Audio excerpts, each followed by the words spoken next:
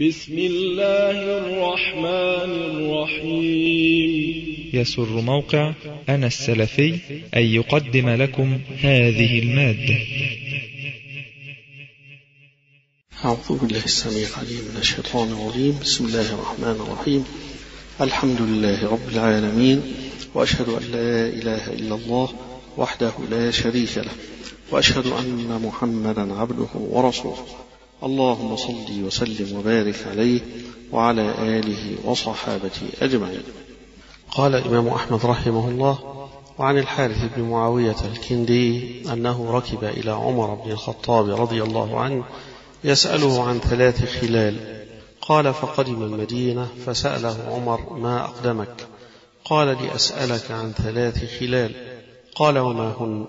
قال ربما كنت أنا والمرأة في بناء ضيق فتحضر الصلاة فإن صليت أنا وهي كانت بحذائي وإن صلت خلفي خرجت من البناء. فقال عمر تستر بينك وبينها بثوب ثم تصلي بحذائك إن شئت. قال وعن الركعتين بعد العصر فقال نهاني عنهما رسول الله صلى الله عليه وسلم. قال وعن القصص فإنهم أرادوني على القصص. قال ما شئت كأنه كره أن يمنعه. قال إنما أردت أن أنتهي إلى قولك. قال أخشى عليك أن تقص فترتفع عليهم في نفسك ثم تقص فترتفع حتى يخيل إليك أنك فوقهم بمنزلة الثريا فيضعك الله تحت أقدامهم يوم القيامة بقدر ذلك. باب آخر في ترتيب مسند الإمام أحمد وذكر فيه ما جاء عن عمر رضي الله تبارك وتعالى عنه في ذكر شيء من فتاواه وقضاياه وبعض ما حصل في خلافته من حوادث رضي الله تبارك وتعالى عنه. من هذه الأحاديث أو الآثار اللي جاءت عن عمر رضي الله عنه حديث عن الحارث بن معاوية الكندي أنه ركب إلى عمر رضي الله تبارك وتعالى عنه سافر من المكان اللي هو فيه إلى المدينة حيث عمر رضي الله عنه ليسأله عن ثلاث أشياء. قال فقدم المدينة. فسأله عمر ما أقدمك؟ فقال لي أسألك عن ثلاث خلال ثلاث أشياء أريد أن أسألك عنها. قال وما هن؟ قال ربما كنت أنا والمرأة في بناء ضيق فتحضر الصلاة فإن صليت أنا وهي كانت بحذائي وإن صلت خلفي خرجت من البناء. يعني يتكلم عن صلاة الجماعة إذا حب يصلي هو وزوجته. وبيوتهم كانت صغيرة وكانت ضيقة وهو بيذكر ذلك وهنا إنسان يتخيل هذا مثل هذا البيت هذا بيت لإنسان يعيش فيه كانوا زهادا والله تبارك وتعالى عنه. وكأنه من زهده كان السؤال الثالث الناس طلبوا منه أن يقص عليهم يعني يذكرهم ويعظهم. البيت اللي هو فيه عبارة عن أوضة. الأوضة اللي فيها هو وزوجته أما يجي يصلوا هما الاثنين لو صلت خلفه هتطلع بره الأوضة تطلع تبقى في الشارع إذا صلت خلفه. إذا صلت معاه جماعة هتصلي بجواره ما فيش مكان إلا يا تصلي بجنبه يا تصلي خلفه. إذا كانت خلفه تبقى بره في الشارع بره الأوضة يعملوا إيه؟ فعمر رضي الله عنه أفتاه بأنه إن شاء صلت بحذائه يعني إذا كان الأمر على الضيق اللي هم بيذكره قال وتستر بينك وبينها بثوب. يعني تبقاش هي لزقة فيك للصلاة ولكن تستر بينك وبينها بثوب. وهذا صلاة الرجل مع المرأة. إذا كان الرجل يصلي مع امرأته جماعة فلتكن المرأة خلفه الأصل فيها. والصلاة في المسجد جماعة بيصلي الرجال في الصفوف الأول يليهم الصبيان يليهم آخر حاجة صفوف النساء. وجاء في الحديث أن خير صفوف الرجال أولها وشر صفوف الرجال آخرها وخير صفوف النساء آخرها. وشر صفوف الرجال النساء أولها. يعني كلما بعدت النساء عن الرجال كلما كان الخيرية في ذلك. وهذا في الصلاة. الإنسان اللي بيصلي فكيف في غير الصلاة؟ هنا بعد النساء عن الرجال هذا فيه الخير. قرب الرجال من النساء فيه الشر وفيه الفتنة. فعمر بن الخطاب رضي الله عنه يفتي بأنه اجعل بينك وبينها حاجز يعني إذا كنت هتصلي ما تلزقوش في بعض وأنتم في الصلاة ولكن اجعل بينك وبينها سوا هذا محمول على الضيق اللي هيجعل الرجل يصلي جنب زوجته الاثنين لازقين في بعض قد تكون زوجته قد تكون أخته قد تكون أمه امرأة تصلي معه فعلى ذلك يقول اجعل بينك وبينها ساترا حاجزا بينك وبينها هل هذا واجب؟ هل يجب أنه يجعل ساترا بينه وبين هذه فتوى عمر رضي الله تبارك وتعالى عنه يعني يحتاط لهذا الشيء؟ وإلا فلا يجب أن يجعل الرجل بينه وبين زوجته حاجزا وهو في الصلاة. هنا فليكن المرأة تبتعد شيئا ما تلصقش بالرجل ما يصلي الرجل مع الرجل يبقى القدم في القدم. لكن المرأة مع زوجها يبقى تبتعد أن تكون خلفه.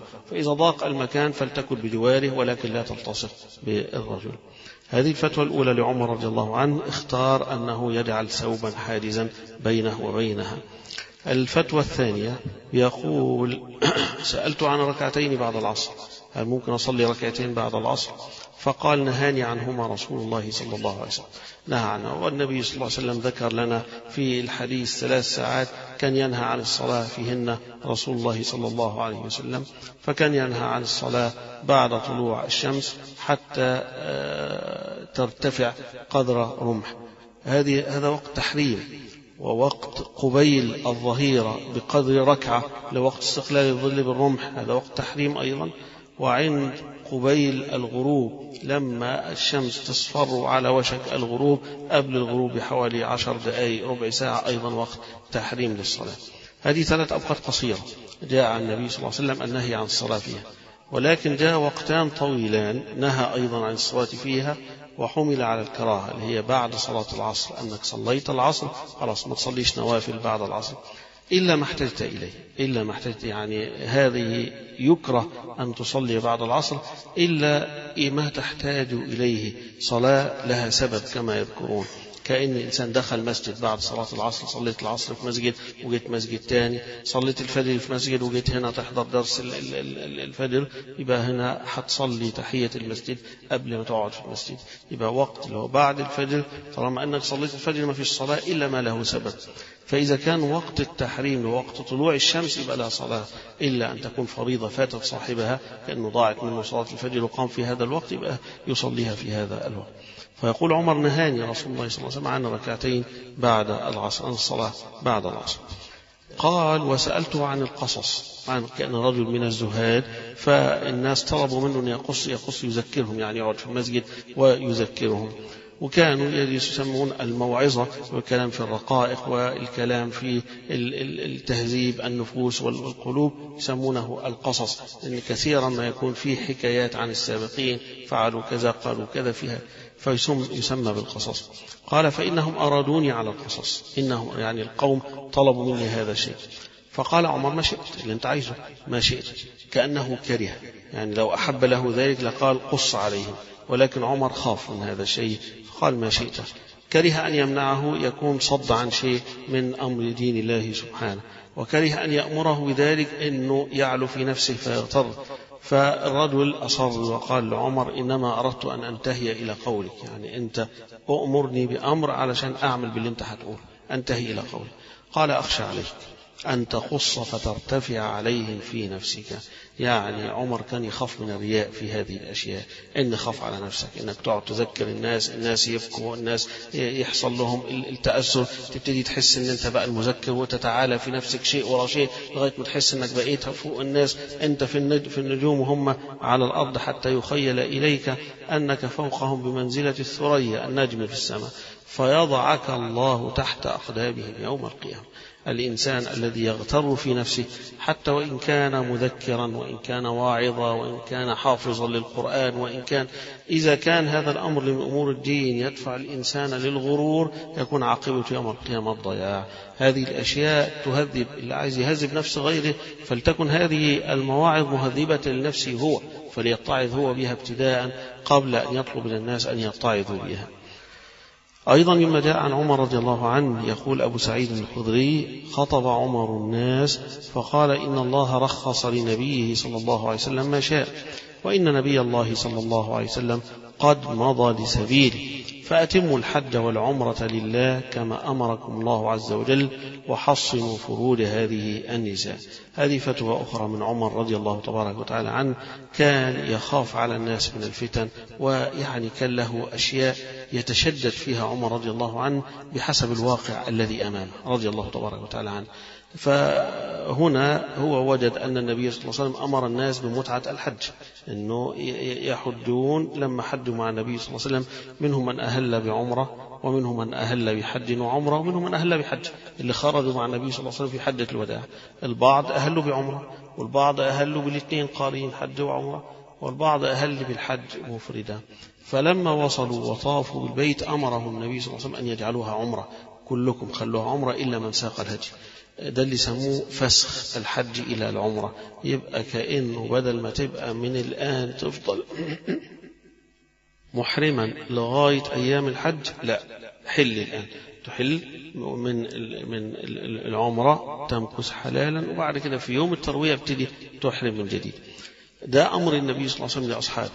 فالبعض من الصحابة يعني كأنهم إحنا النهارده أربعة ذي الحجة ويوم التروية يوم ثمانية طب ما تخلينا محرمين لغاية يوم ثمانية خلينا محرمين من أربعة لثمانية تفرق إيه يعني؟ فالنبي صلى الله عليه وسلم أمرهم بهذا أمرا جازما صلى الله وسلم عليه. فكان ذلك واجبا عليه فسخ الحج إلى العمرة على أصحاب النبي صلى الله عليه وسلم كان واجبا عليهم أن يفعلوا ذلك. حتى يخالف ما كان عليه أهل الجاهلية. كان أهل الجاهلية يرون أنه لا ما يدوس الإنسان يعمل عمرة في أشهر الحج. فأمرهم النبي صلى الله عليه وسلم أن يعملوا العمرة في أشهر الحج. مات النبي صلى الله عليه وسلم والأمر على ذلك. لما جاء عمر رضي الله تبارك وتعالى عنه كأنه حصل حاجة في خلافته حصل حاجة فبناء على هذا الذي حدث تشدد جدا رضي الله تبارك وتعالى عنه في هذا الشيء ومنع. لا متعة لا فيش ما فيش متعة. وهنا بيقول أن النبي صلى الله عليه وسلم قد رخص له الله ما يشاء.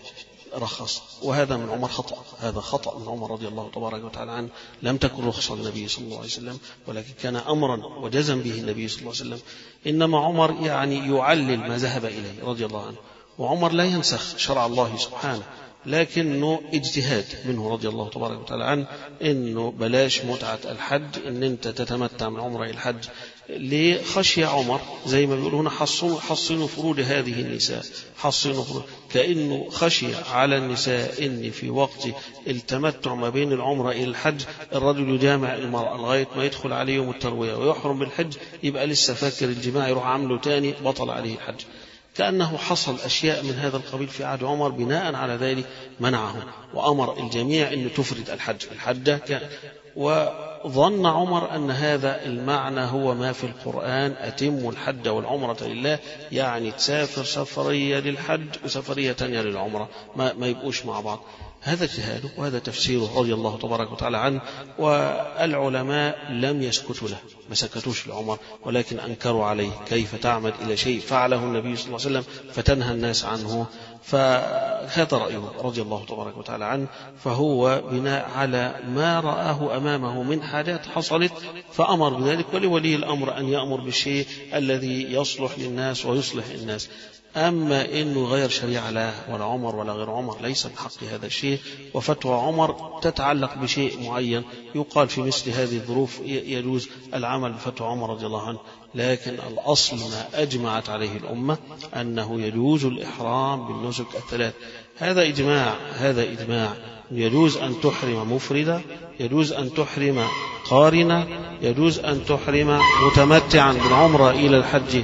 ويمكن بعض العلماء ممن كانوا معاصرين يعني رأى أنه العمرة أو التمتع هذا واجب. يجب فالإنسان الله يحب الحج بس لا يجب عليه يفسخه يجعله عمرة. يمكن قال بهذا مثل هذا القول أو قريبا منه الإمام ابن القيم رحمة الله عليه وقلده بعض العلماء اللي في, في, في عصرنا وهذا خطأ هذا خطأ من ابن القيم ومن العلماء الذين قالوا بذلك. إذا أجمعت الأمة على شيء ما فيش حد بيلغي هذا الإجماع خلاص تم الإجماع على أنه يجوز الثلاث مناسك. العلماء في كل كتب الفقه ينقلون ذلك إجماع الأمة على جواز الحج. مفردة الحج قارنة الحج متمتعة لا قيمة لرأي أحد. يقول إنه لا هم اثنين بس هو واحد بس هو كذا.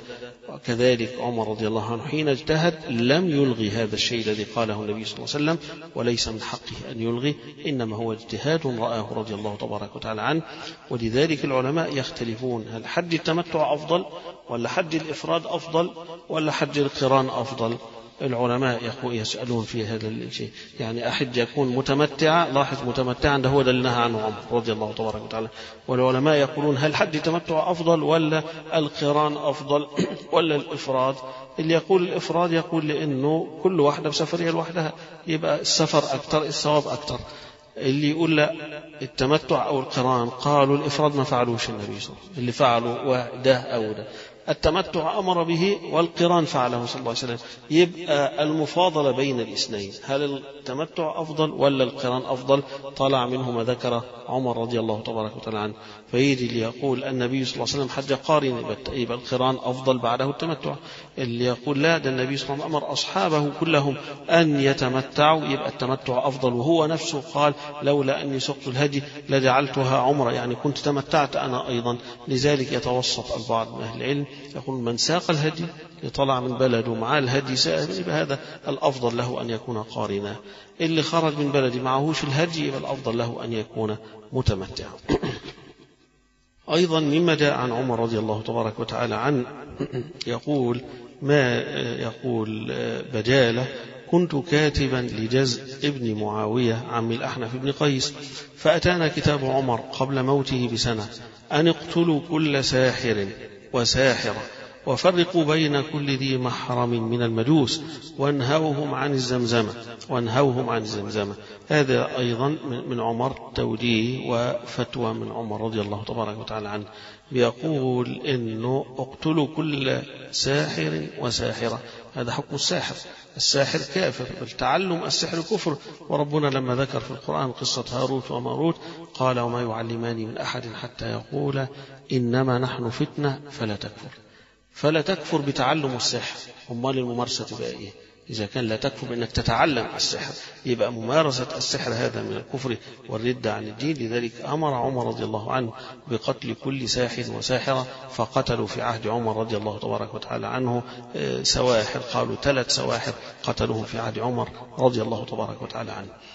أيضا يقول وفرقوا بين كل ذي محرم من المجوس لما فتحوا بلاد الفرس في بلاد العراق وبلاد إيران كان المجوس بيبيحون في دينهم أن يتزوج الرجل أخته ويتزوج الرجل ابنته يتزوج الرجل أمه يبيحون ذلك.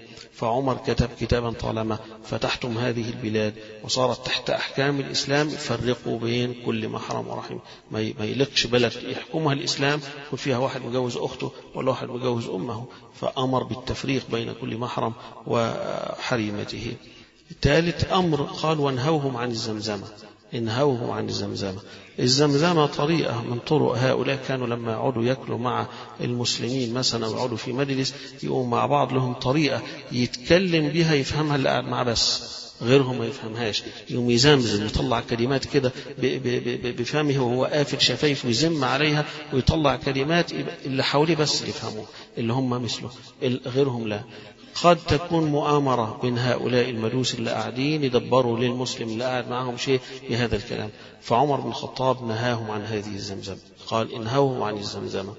فيقول إنه راوي الحديث هنا قال فدعاهم اللي هو عامل معاوية هنالك. قال وصنع لهم طعاما واسمه جزء اسمه جزء قال وصنع طعاما كثيرا وعرض السيف على فخذه. يعني جمعهم وحط لهم أكل. وتعالوا اقعدوا كلوا وحط لهم السيف يوريهم يعني إيه خلوا واحد يزمزم بقى هو بيأكل. فسكتوا ولا واحد فعل هذا الشيء. شوفونا يعني قوة الإسلام عظمة الإسلام. حين يكون مسلمون أقوياء هم لهم الأمر ولهم ينفذ ما هوش الأمر الغرور ولا التحكم في الناس بالباطل. لا. ولكن التحكم بشرع الله سبحانه وتبارك وتعالى بالأمر بالمعروف والنهي عن المنكر. يبقى هنا إذا كان مجموعة من الكفار قاعدين مع مسلمين وكان ما يقدروش يحدثوا أنفسهم يؤذوا المسلمين بشيء في أحكام شرعية مسلطة على الجميع. فيقول هنا فجاء المجوس فألقوا. وقر بغل أو بغلين من ورق وأكلوا من غير زمزمة. ولم يكن عمر رضي الله تبارك وتعالى عنه قبل الجزية من المجوس. ما كانش لغاية أول عهده ما أخذش الجزية من المجوس. لغاية ما جاله عبد الرحمن بن عوف وأخبره أن النبي صلى الله عليه وسلم أخذ الجزية من مجوس هجر فقبلها عمر رضي الله تبارك وتعالى عنه من هؤلاء. أيضا جاء عن مالك بن أوس بن الحدثان يقول أرسل عمر بن الخطاب إلي رضي الله تبارك وتعالى عنه. فبين أنا كذلك إذ جاءه مولاه يرفع فقال هذا عثمان وعبد الرحمن وسعد والزبير بن العوام قال ولا أدري أذكر طلحة أم لا؟ مجموعة ممن بشروا بالجنة. وعمر بن الخطاب يقرب إليه من بشره النبي صلى الله عليه وسلم بالجنة وجعل أهل شورته من أهل العلم وأهل الإيمان والتقوى. فهذا عمر وهذا عثمان وعبد الرحمن بن عوف وسعد بن أبي وقاص والزبير بن العوام وطلحة رضي الله عن الجميع. فأزين له عمر ومكثوا ساعة. قال ثم جاء الحاجب يعني يقول هذا العباس وعلي يستأذنان. العباس عم النبي صلى الله عليه وسلم وعلي بن أبي طالب رضي الله عنه يستأذنان على عمر فقال أذن لهما. فلما دخل العباس فقال يا أمير المؤمنين اقض بيني وبين هذا. وهما حينئذ يختصمان يعني خصومة بين علي وبين العباس رضي الله تبارك وتعالى عنهما. خصومة يعني شيء من الجدل شيء من ال ال الاختلاف في الرأي بينهما. قال يختصمان فيما أفاء الله على رسوله من أموال بني إحنا ذكرنا أن النبي صلى الله عليه وسلم حين توفي ترك مالا. كان له نصيب في فدك صلى الله عليه وسلم كان له نصيب في خيبر كان له نصيب من أموال بني نضير. هذا كله قال النبي صلى الله عليه وسلم نحن معاشر الأنبياء لا نورث. إذا متنا لا نورث. أمال دي تروح فين؟ يجعلها الله عز وجل طعمة للخليفة اللي بعد النبي صلى الله عليه وسلم يطعم منها المسلمين يوزعها على المسلمين ففعل ذلك أبو بكر رضي الله تبارك وتعالى عنه وفعل ذلك عمر. ثم كأن عمر بدا له أنه يعطي هذه الأموال لعلي وللعباس يقسمونها كما كان يقسمها النبي صلى الله عليه وسلم. يبقى العباس ومن معه وعلي ومن معه يقسمون هذه الأموال كما كان النبي صلى الله عليه وسلم يقسمها. ولكن هنا عمر أصاب يكونوا الاثنين مع بعض علي والعباس أنتوا الاثنين مع بعض بحيث تقسموا هذه الأموال صدقات على المسلمين كما كان يقسمها النبي صلى الله عليه وسلم. فحصل خلاف بينهم. حصل خلاف بين علي وبين العباس. كأن كل منهما يرى أن أنا أوزع على فلان وفلان وده لا أوزع لفلان. حصل خلاف بين الاثنين. ما هوش في أخذ المال لأنه لا يحل لهم أخذ هذا المال لا لعلي ولا العباس ولكن في توزيع هذا المال على الناس. فاختصم لعمر رضي الله تبارك وتعالى عنه فقال القوم يا أمير المؤمنين اقض بينهما وأرح كل واحد من صاحبه. فقد طالت خصومتهما. فقال عمر رضي الله تبارك وتعالى عنه أنشدكم الله الذي بإذنه تقوم السماوات والأرض. أتعلمون أن رسول الله صلى الله عليه وسلم قال لا نورث. ما تركنا صدقة؟ أتعلمون ذلك؟ فقال الجالسون معه هم من المشهدين بالجنة قالوا نعم. عرفنا النبي صلى الله عليه وسلم قال ذلك إن لا نورث والذي نتركه صدقة. فسأل الاثنين فقال نعم. قال فإني سأخبركم عن هذا الفيء إن الله عز وجل خص نبيه صلى الله عليه وسلم منه بشيء لم يعطه غيره يعني الآية وما أفاء الله على رسوله منهم فما أوجفتم عليه من خير ولا ركاب. وكانت لرسول الله صلى الله عليه وسلم خاصة والله ما احتازها دونكم ولا استأثر بها عليكم. هذا النبي الكريم. ودي الأموال العظيمة. تفتح خيبر ويكون له نصيبه يفتح له فدك ويكون له نصيبه يكون له نصيب من أموال بني النضير. وهذا فيش حاجة بدخلها في جيبه صلى الله عليه وسلم. وإنما كان يعطي لنسائه النفقات النفقة الطعام اللي عليه ينفق عليهم صلى الله عليه وسلم. ثم بعد ذلك الباقي يوزعه على المسلمين صلوات الله وسلامه عليه. فقال والله ما احتازها دونكم. ولا استأثر بها عليكم صلوات الله وسلامه عليه. لقد قسمها بينكم وبثها فيكم حتى بقي منها هذا المال فكان ينفق على أهله منه سنة. كان عادة النبي صلى الله عليه وسلم. ما بيديش نفقة لزوجته يوم بيوم لا. ولكن كان نفقة سنة لكل واحدة من نسائه ثم بعد ذلك ينتبه لأحوال المسلمين. يبقى كفى بيته صلى الله عليه وسلم ثم بعد ذلك ينفق على المسلمين. بعد ذلك إذا احتاج المسلمين المسلمون أخذ من بيته وأعطى المسلمين صلوات الله وسلامه عليه. فيقول فلما قبض رسول الله صلى الله عليه وسلم قال أبو بكر رضي الله عنه أنا ولي رسول الله صلى الله عليه وسلم. بعده أعمل فيها بما كان يعمل رسول الله صلى الله عليه وسلم. قال ثم وليته من بعد أو وليته من بعد أبي بكر فأحلف بالله لأجهدن أن أعمل فيه بعمل رسول الله صلى الله عليه وسلم وبعمل أبي بكر. ثم ذكر أنه أعطى لعلي وللعباس هذا المال على أن يعمل فيه بعمل النبي صلى الله عليه وسلم يعني بالقسم بين المسلمين. يا إما تعملان فيه على مكان يا إما ردوا لي المال وأنا أكفيكم. هذا الشيء فخرج علي والعباس واتفقا ورجعا وقال العباس ادفعه لعلي فقد طبت به نفسا. يعني خليه لعلي هو اللي يوزعه بين الناس. طبت نفسا فتنازل العباس رضي الله عنه لعلي أن يقسم هو هذا المال على الناس. فانظر للمال المال حتى لو لم يكن المال ملكا لصاحبه. حصل شركة ولو في توزيع المال ولو في توزيع المال. ولو أفاضل الذين يقومون بذلك. هذا علي والعباس من أفضل من هؤلاء. هذا عم النبي صلى الله عليه وسلم وهذا ابن عم النبي صلى الله عليه وسلم وربيه وزوج ابنته. ولكن توزيع المال كل إنسان له وجهة نظر له رأي. فلان يستحق لا ما يستحقش أدي فلان لا ما تديش لفلان. فحصل خلاف بين علي والعباس حتى قضى عمر رضي الله عنه يا إما تتفقان يا إما ردوا لي المال وأنا أوزع على المسلمين. فاتفق على أن يعمل به علي والله أعلم. نكتفي هذا القدر. أقول قولي هذا أستغفر الله العظيم. وصلي اللهم وسلم وبارك على سيدنا محمد وعلى آله وصحبه أجمعين.